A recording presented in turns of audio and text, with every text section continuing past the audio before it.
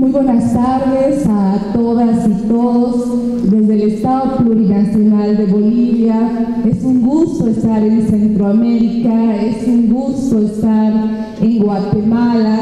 y especialmente en este momento histórico tan importante para Guatemala, en el cual se están generando estos diálogos, estos ámbitos de reflexión, pues es muy importante para nosotros contar la experiencia del caso boliviano, a partir del cual es importante realizar reflexiones y pensamientos desde una perspectiva de derecho comparado. En ese marco y con la finalidad precisamente de evidenciar las evoluciones que en el tema del pluralismo se han desarrollado a lo largo de Latinoamérica y concretamente en el caso boliviano, me permito en este momento hacer unas reflexiones y presentar el caso boliviano para que a partir de algunas experiencias pueda, de manera informada, tal como ya lo dijo Raquel, puedan desarrollarse estos diálogos en Guatemala. En primer lugar, en mi país, a partir de la reforma constitucional del 2009, se ha constitucionalizado, y nuestra constitución así lo establece de manera expresa, la vigencia del pluralismo en todas sus facetas, pero especialmente el pluralismo jurídico. De hecho, el artículo 1 de mi constitución de manera expresa establece que el pluralismo es uno de los elementos esenciales que forma parte de la estructura del modelo de Estado. Y cuando mi país, el 2009, reconoce el pluralismo jurídico, pues se rompe esa estructura del Estado monista y una de las consecuencias esenciales del pluralismo jurídico es, es en esencia la existencia de varias fuentes jurídicas de derecho. Por lo tanto, cuando reflexionamos sobre el pluralismo jurídico, el primer punto esencial que tenemos que entender es que la ley, la ley de producción solamente de un órgano estatal ya no es la única fuente directa de derechos, sino, como sucede en mi país cuando se reconoció constitucionalmente el pluralismo jurídico, se entiende que también las normas y procedimientos de las naciones y pueblos indígenas, originarios, campesinos son fuente jurídica de derecho, consecuencia muy importante porque tal como vamos a ver en el decurso de este diálogo, a partir de este reconocimiento constitucional opera lo que se llama la complementariedad. Y entonces el pluralismo jurídico plantea ese pluralismo de fuentes bajo una idea fundamental. No existe cultura superior a otra, sino que todas se complementan y por lo tanto todas coexisten. Vean cómo en el Estado plurinacional de Bolivia ya no se utiliza el concepto de un pluralismo subordinado, porque ya no hablamos de usos y costumbres, sino de normas y procedimientos con que va a generar un fenómeno de complementariedad entre ambas culturas. A partir de eso, otro elemento muy importante de reflexión que pongo el día de hoy, a partir de una experiencia que hemos tenido en el caso boliviano, porque el reconocimiento constitucional del pluralismo jurídico al margen del sistema plural de fuentes jurídicas ha que es importante reflexionarla y que mm, es importante que se las cuente a partir del caso boliviano. En la Constitución de 2009, de manera expresa, primero se consagra al órgano judicial como el órgano encargado de administrar justicia en el territorio plurinacional de Bolivia. En ese marco, la Constitución boliviana consagra el principio de unidad jurisdiccional, pero entiende al principio de unidad jurisdiccional desde la visión del pluralismo jurídico. Por lo tanto, en mi en el Estado plurinacional de Bolivia, la justicia, la administración de, justicia se ejerce a través de tres jurisdicciones específicas. La primera es la jurisdicción ordinaria, a la cabeza del Tribunal Supremo de Justicia, los tribunales departamentales de justicia y los jueces de instancia. La segunda fuente, la segunda jurisdicción en el caso del Estado plurinacional de Bolivia es lo que se llama la jurisdicción agroambiental. En Bolivia, a partir de la redefinición de los derechos que enseguida los vamos a ver, tenemos los llamados derechos individuales, los derechos colectivos y los derechos difusos. Y desde la perspectiva de los tradicionales derechos difusos de construcción eurocentrista, a partir de una interpretación plural de los derechos, en Bolivia se desarrolla el concepto de los derechos de la madre tierra. Y a partir del cuidado de los derechos de la madre tierra tenemos una jurisdicción específica que se llama la jurisdicción agroambiental, que está a la cabeza específicamente de un tribunal agroambiental y también existen los jueces de instancia en materia agroambiental. Y finalmente, merced esta visión del pluralismo jurídico, tenemos la tercera jurisdicción, que es la jurisdicción indígena originaria campesina, que es ejercida a la luz de la cláusula de la libre determinación de las naciones y pueblos indígenas expresamente consagrada en el artículo 2 de la Constitución y a partir de esta cláusula se entiende que los pueblos indígenas tienen el derecho a ejercer sus propios sistemas de justicia a partir de lo que se entiende como la jurisdicción indígena originaria campesina.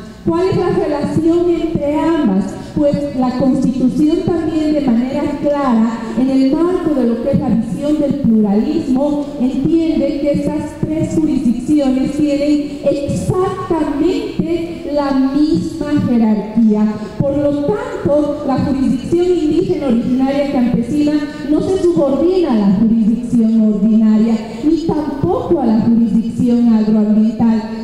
las tres tienen exactamente la misma jerarquía y por lo tanto, pero vean cómo a la luz del principio de unidad jurisdiccional, desde, una, desde un enfoque intercultural, la justicia se ejerce a través de estas tres jurisdicciones. Lo que sí, en el marco del Estado plurinacional de Bolivia, las tres jurisdicciones, la ordinaria, la agroambiental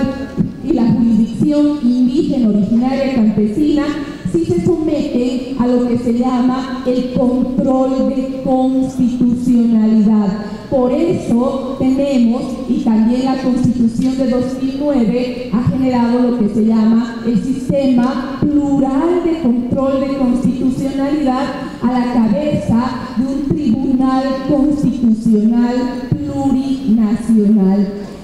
La articulación de esta función de la justicia con las tres jurisdicciones y un tribunal constitucional plurinacional en la experiencia boliviana tiene una idea fundamental y es que en un Estado constitucional plurinacional de derecho como es el caso boliviano no pueden existir decisiones arbitrarias. Y por eso es que este tribunal constitucional a través de procedimientos constitucionales, en ciertos casos, lo que hace es verificar que las decisiones desde la jurisdicción ordinaria, la agroambiental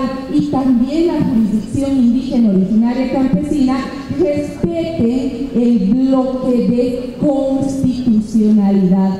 Y cuando hablamos de bloque de constitucionalidad en el caso boliviano, también aquí sí hemos sido muy progresistas en desarrollar la llamada la luz del pluralismo, la llamada doctrina del bloque de constitucionalidad pues el bloque de constitucionalidad establece que eh, en ese bloque, en el primer compartimento, se encuentra efectivamente el texto escrito de la Constitución. Pero además, todos los tratados internacionales referentes a derechos humanos, incluido, por ejemplo, en temas de pueblos indígenas, el convenio 169 de la OIT, la Declaración de las Naciones Unidas en relación a los derechos de los pueblos indígenas y todos los estándares progresivos y favorables para los pueblos indígenas, pues estos forman parte del bloque de constitucionalidad. Pero además, valores plurales. Nosotros en Bolivia, por ejemplo, tenemos la cultura quechua. En la cultura quechua tenemos valores como el amazúa, el amayuya, el anaquilla que esos valores, por ejemplo, no seas flojo, eh, eh, no seas mentiroso, son valores que forman parte del bloque de constitucionalidad. Entonces, en esta visión del pluralismo, combinada con estas tres jurisdicciones, el Tribunal Constitucional Plurinacional tiene un rol esencial porque hace también que todas las decisiones de la comunidad sean con el bloque de constitucionalidad. Hace que las decisiones de la justicia ordinaria también sean armónicas con el bloque de constitucionalidad y también hace a partir de su rol interpretativo y de los mecanismos constitucionales vigentes que las decisiones de la jurisdicción agroambiental también respondan al bloque de constitucionalidad. En ese marco, esa perspectiva del pluralismo nos lleva a una coexistencia que armoniza perfectamente la estructura del Estado con precisamente la visión del pluralismo. Nuevamente, en Bolivia, uno de los conceptos más utilizados para discutir la reforma del 2009 fue el concepto para diseñar todos esos temas que les comento, fue el tema de la doctrina de la descolonización. Cuando hablamos de la doctrina de la descolonización, la idea esencial nuevamente es que no existe cultura superior a la otra. La cultura de la jurisdicción ordinaria no es ni superior ni tampoco mejor a la cultura de la jurisdicción indígena originaria campesina. Y cuando hablamos de pluralismo jurídico, el concepto que se utiliza es la interculturalidad. ¿Y que plantea la interculturalidad? Plantea el fenómeno de complementariedad. Por eso, desde esa visión, además de la complementariedad, uno de los valores esenciales, y así lo establece el preámbulo de mi constitución y el artículo 8, es el valor del vivir bien. Cuando hablamos de pluralismo jurídico, lo importante es lograr ese fin esencial del Estado, que es el vivir bien, que implica la convivencia armónica, pacífica, complementada entre todas las varias, por eso hablamos de las plurinacionalidades en la estructura de un Estado unitario. Y precisamente ahí quiero hacer mención a la visión de la justicia indígena originaria campesina. La visión de la justicia indígena originaria campesina en mi país es una visión basada en la cultura del vivir bien, que lo que plantea precisamente es el restablecimiento de una armonía,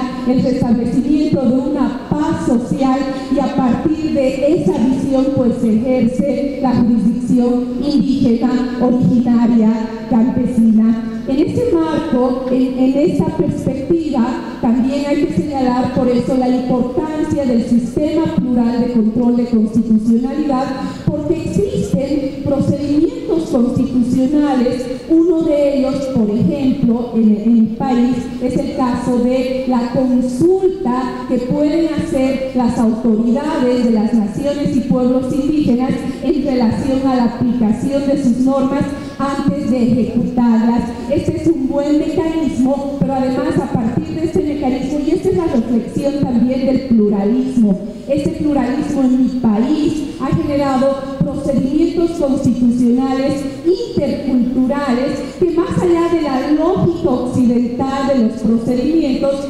generan mecanismos como por ejemplo el de los diálogos interculturales. Por eso les digo que la justicia la visión de la justicia indígena es precisamente esa paz social, ese vivir bien, esa lógica del restablecimiento de la armonía no necesariamente una lógica basada en una cultura occidental y esa visión debe servir para generar mecanismos específicos de diálogos interculturales.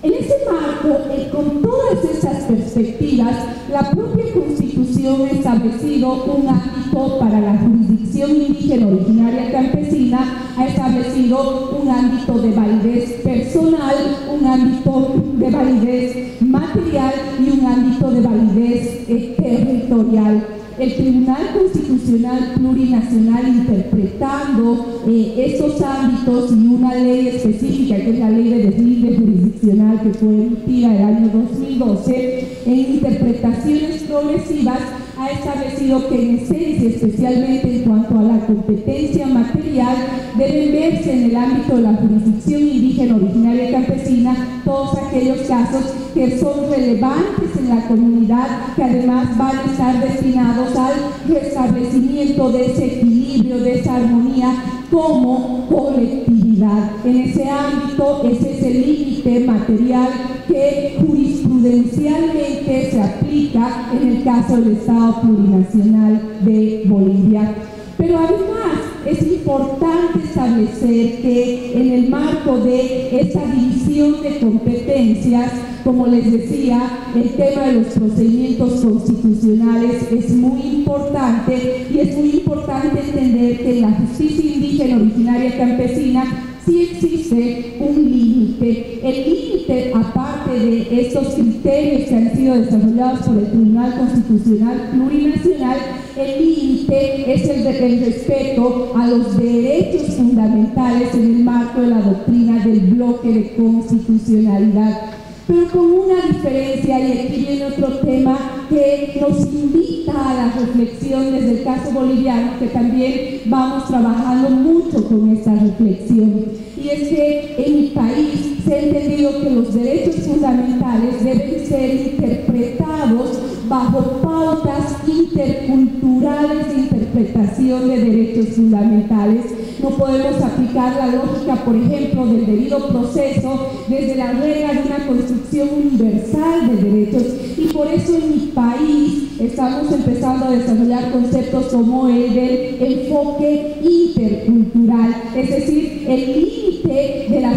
indígena originaria campesina es el respeto a derechos fundamentales. Pero ¿cómo vamos a mirar los derechos fundamentales? Pues precisamente a partir de la cosmovisión, de acuerdo precisamente al vivir bien y esa finalidad de esta justicia indígena originaria campesina, que es el restablecimiento de la armonía, la paz social, etc. Y de esta manera, pues desde la reforma de 2009 hasta la fecha, lo que se quiere consolidar precisamente es un proceso de armonización, es un proceso de coexistencia en un Estado unitario en el cual los pueblos indígenas son parte de la estructura y tenemos o debemos tener una coexistencia plenamente armónica en temas de interculturalidad y en temas de complementariedad. Y con esto ya sé que el tiempo se me acaba, pero solamente quiero poner un punto más eh, para la reflexión. Desde Bolivia estamos trabajando mucho en un concepto esencial que es el de la despatriarcalización. Es importante cuando vemos el tema de la jurisdicción indígena originaria campesina, es importante la mirada, especialmente desde la mujer indígena. Es importante romper las estructuras de despatriarcalización y por eso es que las políticas públicas eh, lo que pretenden en el Estado plurinacional de Bolivia es precisamente el empoderamiento de la mujer indígena y entonces en Bolivia estamos empezando a reflexionar sobre lógicas que partan desde la despatriarcalización. Es importante no solamente el reconocimiento constitucional de la jurisdicción indígena originaria campesina, es importante que la mujer forme parte de esa jurisdicción indígena originaria campesina, en el caso boliviano, y una jurisdicción de pueblos indígenas en otros contextos. Solamente en la medida en la cual entendamos que en la jurisdicción indígena existe una composición y vamos a poder empezar a trabajar con procesos de despatriarcalización, es decir, que rompan esas estructuras en las cuales no solo en la sociedad, en las, en las comunidades, sino también en las sociedades occidentales, la mujer siempre está subordinada a lógicas patriarcales. A partir de ello, pues desde la jurisdicción indígena como actores esenciales, vamos a poder trabajar con temas esenciales como lo estamos haciendo en el Estado Plurinacional de Bolivia, por ejemplo, en temas de violencia en todas sus formas o en temas de trata y tráfico, que no los vamos a enfocar desde la lógica occidental, sino desde la visión de la despatriarcalización y el empoderamiento de la mujer indígena en esa visión de la administración de justicia. Con todos esos temas, solamente concluyo esta exposición agradeciendo la invitación y eh, pues eh, es importante para nosotros, reitero, traer la experiencia del caso boliviano para que ustedes a partir de la realidad guatemalteca puedan reflexionar sobre temas tan importantes que tienen una única finalidad y que en mi país han tenido una única finalidad, una convivencia en una estructura unitaria, armoniosa, pacífica, que genere lo que nosotros en Bolivia llamamos la cultura del vivir bien. Muchas gracias por todo.